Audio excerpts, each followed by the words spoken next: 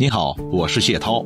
为了感谢大家一直以来的支持，听世界节目团队为大家特别准备了长达四千集、价值千元的节目礼包。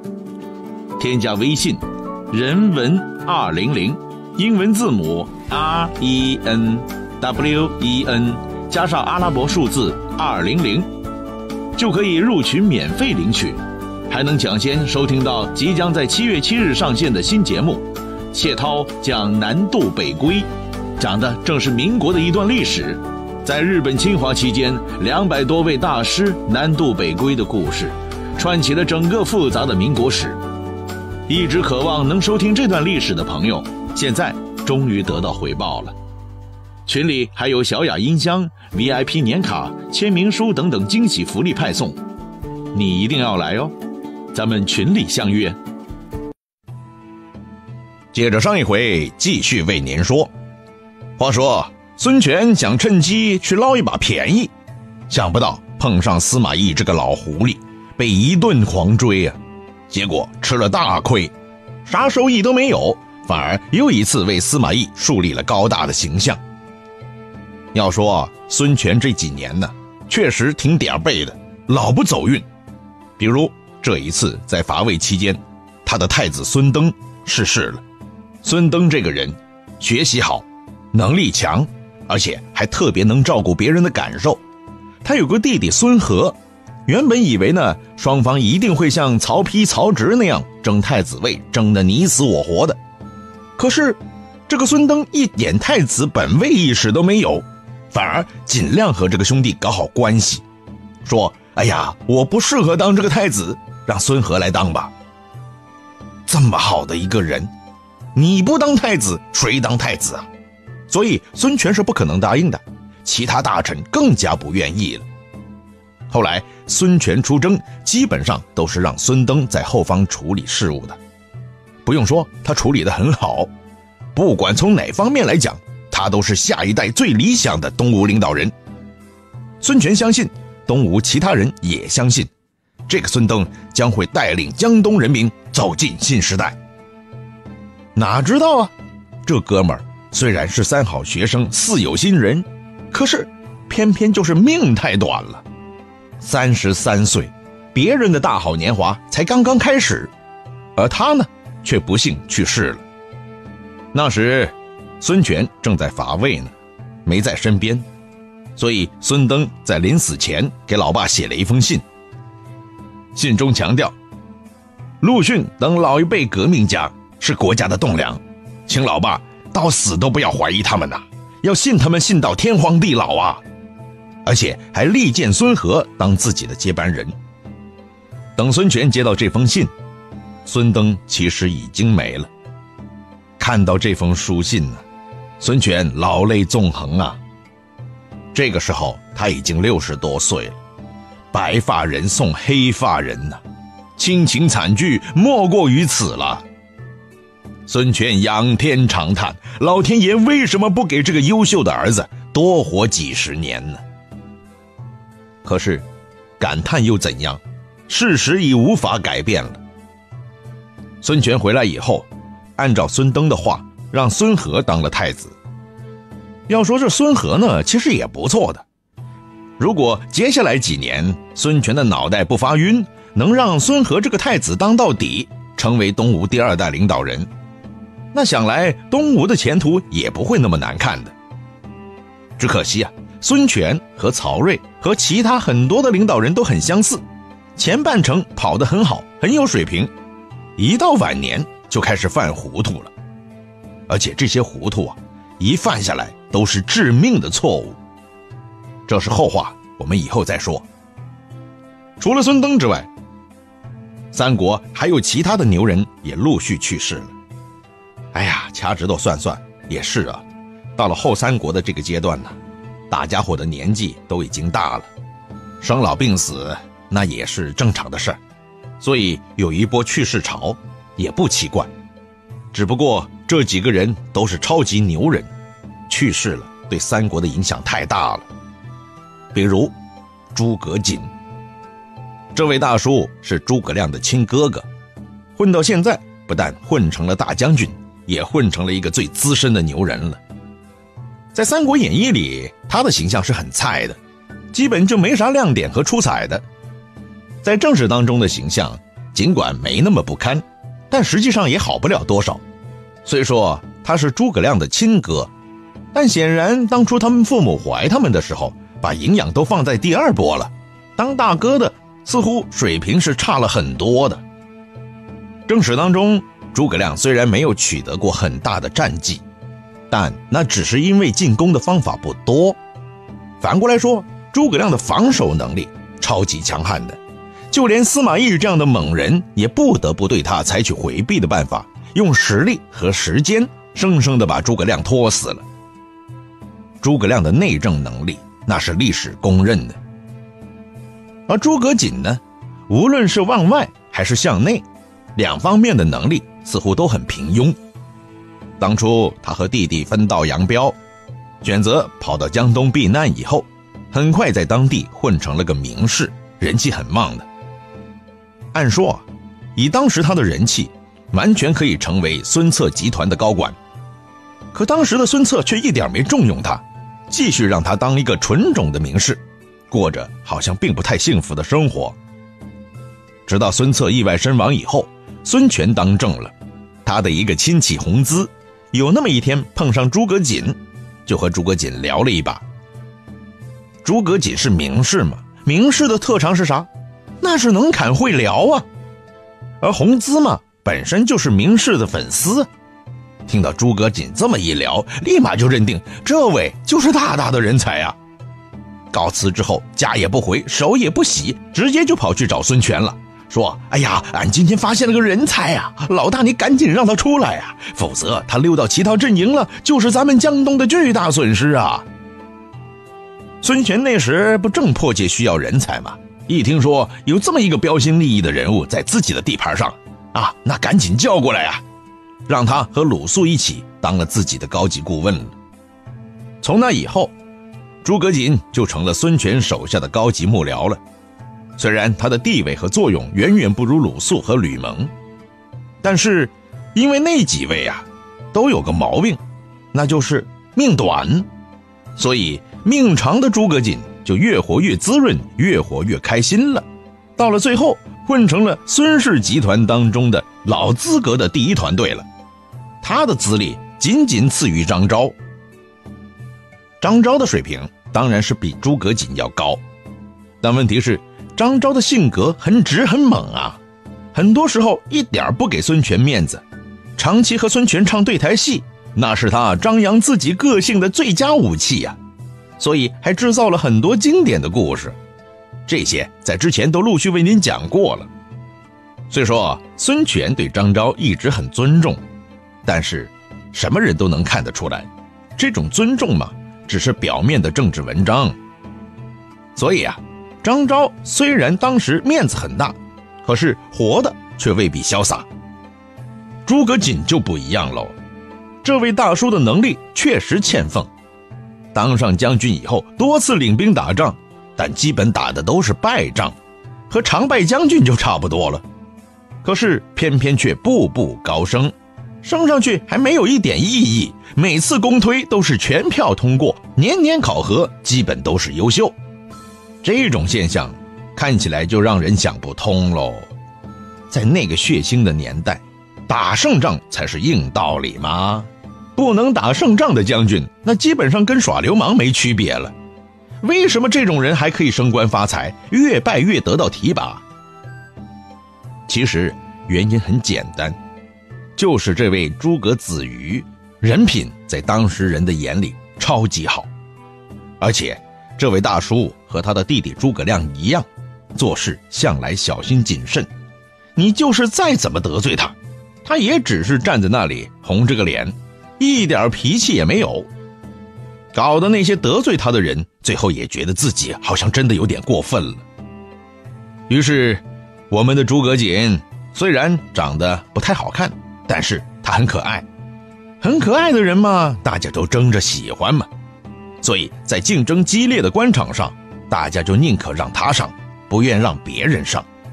也就是那句话了，与其推荐一个个性张扬的能人。不如扶起一个个性圆滑的老好人。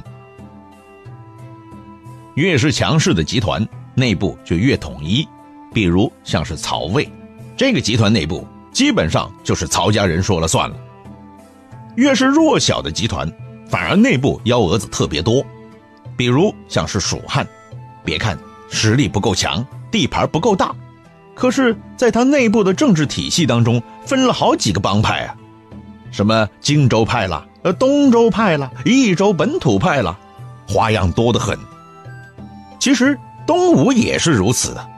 东吴内部也分了几个派系，一个派系是孙策时代形成的淮泗派，主要呢就是和孙策打过江山的元老级别的人，代表人物呢当然就是张昭了。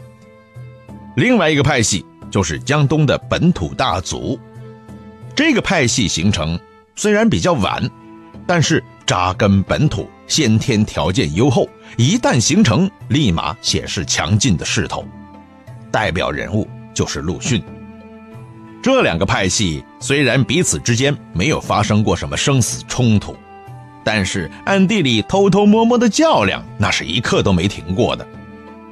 孙权看到本土派力量越来越猛了，也曾经想办法把他们打压一下。作为一个集团的老大，他这种想法是绝对没有错的。可错就错在用一个小人来完成这个任务。这个之前也讲过了，小人名字叫吕一，结果被人家抓住把柄来个反打压，搞得最后实在是很没面子，迫不得已自己出来又是慰问，又下了罪己诏，还得向别人道歉，搞得自己特别不体面。而诸葛瑾呢，恰恰不是这两派当中的人。孙策他是没跟过的，他又不是来自于本土的大族，所以。他属于少数派，虽说如此啊，但是他却把这两派人看得很透，知道自己不管陷到哪个派系里，凭借自己的水平和背景，最后一定会被人整得死翘翘的。所以基于这个考虑，他决定哪个派系自己都不进，不管在哪个派系人的面前，自己都是和蔼可亲的老好人，永远傻呵呵的笑着。当了一个中间派。要说诸葛瑾大叔别的能力很菜，但做中间派却是非常优秀的，优秀到最后大家都认可他，两边派系都喜欢他，让他在中国历史上最著名的乱世里当了一辈子的不倒翁。哎，要客观的说，这也是一个能力，不是你想做就能做得到的呀。当然了。他得到大力提拔，还有另外一个原因，就是他有一个特别优秀的弟弟诸葛亮。孙权这辈子啊，最得意的外交政策，就是与蜀汉联手，共同对付曹魏集团了。而蜀汉那边不就是诸葛亮的天下吗？在孙权的角度来看，一来觉得诸葛瑾这个老哥，嗯，还是挺值得信赖的嘛，再怎么给他权力，他也不会造你的反的。第二，如果让诸葛瑾当自己的高管，那就可以得到蜀国的信任呢。所以，当孙刘两家闹矛盾的时候，他都第一时间把诸葛瑾派出去，去说服刘家。虽然诸葛瑾未必能完成任务，但好歹面子是没丢嘛。所以，孙权也一直没有怪罪诸葛瑾，反而说：“嗯，子瑜是个好同志嘛。”正是孙权对他特别看重，所以有句成语也是来自于他们之间的关系。这句成语就是“生死不易”。当初刘备讨伐东吴的时候，诸葛瑾人在南郡，于是有流言就说了：“哇，刘备打过来了，他弟弟诸葛亮又是参谋啊，那想来诸葛瑾肯定要叛变呢。”为了这事儿，当时在夷陵前线的陆逊。还专门上表力保诸葛瑾绝无二心。孙权给陆逊回信的时候说了：“我和子瑜在一起很多年了，有生死不易的誓言。他为人非道不行，非义不言。当初孔明访问吴国，我让子瑜留下他，子瑜就对我说：“弟弟已跟随他人，一无二心。弟弟不会留下，就好像我不会离去一样。”他的言行是如此的英明，论世上的君臣大义，我和子瑜可以说得上是神交啦，不是旁人可以离间的。于是，在这一番话当中，就出现了这句成语“生死不易”，“易”就是交换、交易的那个“易”。这句成语等同于“生死不渝”，用来形容对理想、对信念、对友谊、对盟约忠贞不移。当然，孙权认为子瑜是个好同志，和别人说子瑜是个好同志是不一样的。别人只看到子瑜很厚道，不会做出什么威胁自己利益的事儿，所以才评他为优秀人物。而孙权呢，则更看重另外一方面，这就是诸葛瑾和几大派系的大佬们都很和谐，派这样的人去周旋于各大派系之中。当中间人，那是很合适的。所以啊，是政治格局决定了诸葛瑾必须当这个不倒翁，没了你再挑另外一个麻烦呢。既然是这样，大家都认可了，那你诸葛瑾即便打再大的败仗，大家也舍不得把你怎么样嘛。而且，诚恳地说，都这么多年过去了。谁不知道你诸葛瑾在带兵方面有几斤几两啊？就没指望着你去打胜仗，好不好？关键的战场都是陆逊在撑着呢，你诸葛瑾就过去当当绿叶就好啦。这么一轮说过来，大家都会认为诸葛瑾相当的厚道，但是这并不完整。实际上，诸葛瑾也有残忍的一面的。为什么这么说呢？那。当自己的原配夫人死了以后，诸葛瑾大声宣布不再结婚了，说只有这样，才能对得起比自己先去世的老婆。但不要以为，他宣布了这个以后，他就不再泡妞了，那真是很傻很天真了。他其实只是不再任命一个正式夫人而已。至于二奶呀、小妾之类的，那是从来不缺的。当然，在那个年代，这也不算啥。关键是，他继续潇洒生活以后，也没见得他考虑过避孕措施，这就难免继续造人了。啊，当然，再造个人出来仍然不算什么。问题就在于，他造人之后，立马来了一个生子不举。哎，拿现代的人的角度来听，哎，生子不举，生完了就不行了？No，错，答题错误，得零分。在当时人的心目当中，所谓的生子不举，只是指生完孩子以后不让他继续当官。这里的举不是举起来的举，而是举荐的举。简单来说，就是不把自己的孩子推去享受特权。哇，这不是很好吗？诸葛瑾大叔不仅是官员们的好榜样，还是人民公仆的好楷模呀。其实不是这样的，真正的生子不举，在诸葛瑾大叔那里，那就是生完孩子以后，不让这个孩子活下来，直接让人把这个新生儿抱走，在水里直接给淹死。这种做法嘛，倒也不是诸葛瑾发明的，古时认为五月初五生的儿子是不祥的，为啥不祥呢？这好像也不太清楚。反正这个日子出生的儿子就必须淹死的，这个就叫生子不举。而诸葛瑾大叔是把这个风俗进一步发展深化了，不管男孩女孩，也不管是哪月哪日生的，啊只要生下，通通处理掉。说到这里，你是不是觉得诸葛瑾其实也有他很残忍的一面呢？你还会认为他厚道吗？所以后来他那个儿子一点都不厚道。这似乎是有遗传的，也就没什么奇怪了。公元二四一年，诸葛瑾去世，